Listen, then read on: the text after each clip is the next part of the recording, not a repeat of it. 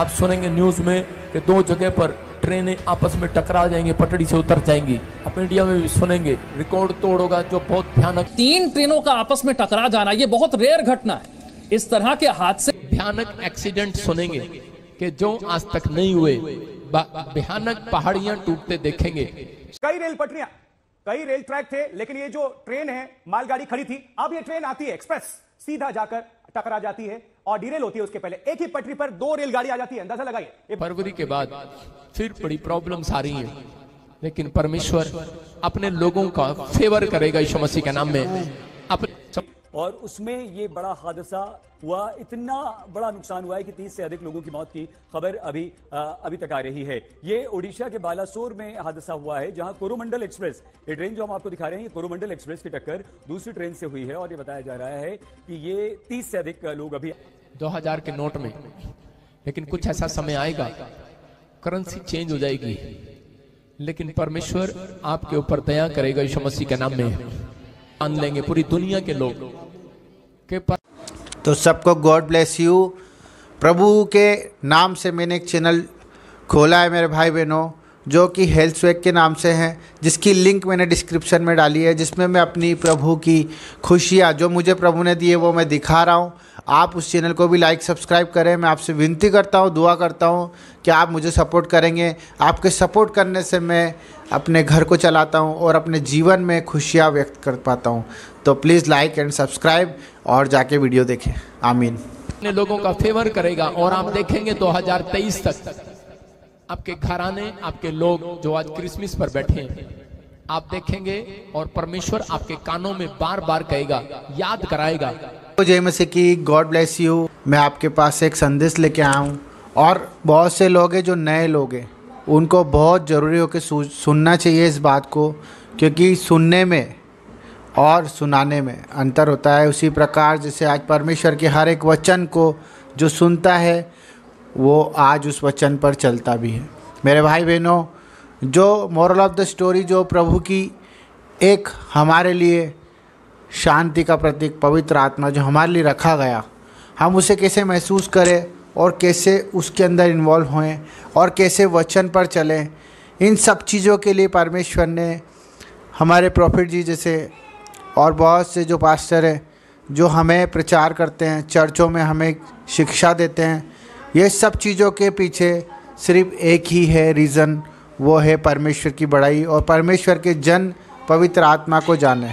तो जो भविष्यवाणियाँ होती है, जो प्रॉफिट जी करते हैं, वो क्यों कर पाते हैं और क्यों उस चीज़ पर हमें अमल करना चाहिए? सबसे पहले जब हम पवित्र आत्मा की संगति में चलते हैं तो हमें पवित्र आत्मा हर एक चीज़ का आभास करा देती है। करा देती है कि नहीं करा देती है आपको पता है। क्योंकि जब हम मुसीबतों से निकले, तब परमेश्वर ने हमें ये रूप रंग हर एक चीज़ के बारे में हमें अवगत कराया हुआ है। हमारी बुद्धि, हमारा जीवन सबके बारे में हमें सुझा देता है। आपने महसूस किया होगा मेरे भाई बहनों कि जब हम परमेश्वर में आए तो हमारे बुरे होने से पहले हमें उसके बारे में थोड़ा बहुत आभास हो जाता है और हमें एक अंदर से एक फीलिंग आती है कि हमें इस चीज़ पर अमल करना चाहिए कि नहीं करना चाहिए। तो पवित्र आत्मा हमें हमारे अंदर महसूस करा देता है। उसी प्रकार जब प्रॉफिट भविष्यवाणियाँ करते हैं, जब उनके अंदर ये गॉड ने ये चीज़ रखी है, प्रभु यीशु ने, पवित्र आत्मा ने, उनके अंदर ये आभास कराया कि जब वो किसी के बारे में बताते हैं तो वो उन्हें वो चीज़ महसूस होती है।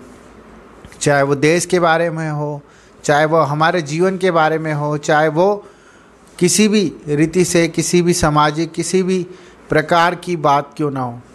परंतु मानना हमारे भीतर है। हम मानते हैं, इसीलिए आज हमारी चीज़ों को प्रभु समझता है।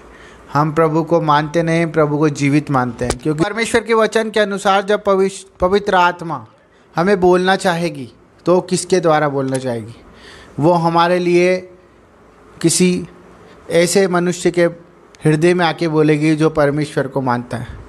वो हमारे लिए, वो हमारे बुज़ुर्गों के, हमारे बच्चों के मुँह पे आके बोलेगी, जो पवित्र आत्मा है, जिसने पाप छोड़ दिया, जिसने पाप की संगति छोड़ दी, जिसने बुराइयाँ छोड़ दी, जिसने कुकर्म छोड़ दिया जिसने परमेश्वर की सेवा को अपना जीवन बना लिया।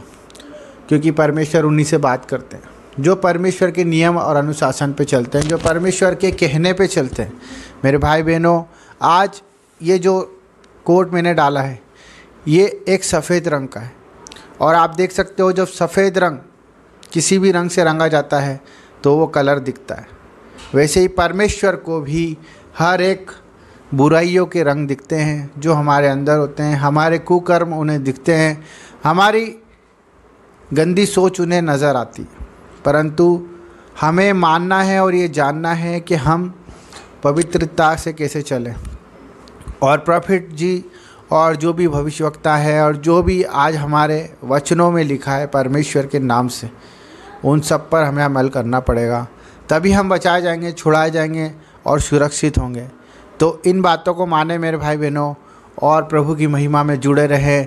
आपको हर एक आशीष मिले, जो आप आज ख्वाब देख रहे हो पूरे हो जाए और जो आज आप बीमारियों से लड़ रहे हो, वो बीमारियाँ ठीक हो जाए। जिन समस्याओं के लिए आप आज प्रभु से प्रार्थना कर रहे हैं, वो प्रार्थनाएँ पूरी हो जाए।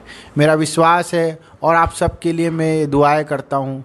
जो लोग आज मुझे, आज मेरे यूट्यूब चैनल को सपोर्ट कर रहे हैं, मैं उन सब के लिए दुआएँ करता हूँ कि परमेश्वर उन्हें चार गुना आशीष दे। उनके मांगने से पहले और उनके सोचने से पहले परमेश्वर उनके लिए करे। तो सबको जय मसीह की गॉड ब्लेस यू ऐसे वीडियो को सपोर्ट करें लाइक करें सब्सक्राइब करें और अपना प्रेम प्रभु के द्वारा हमारे लिए प्रकट करें। आमीन।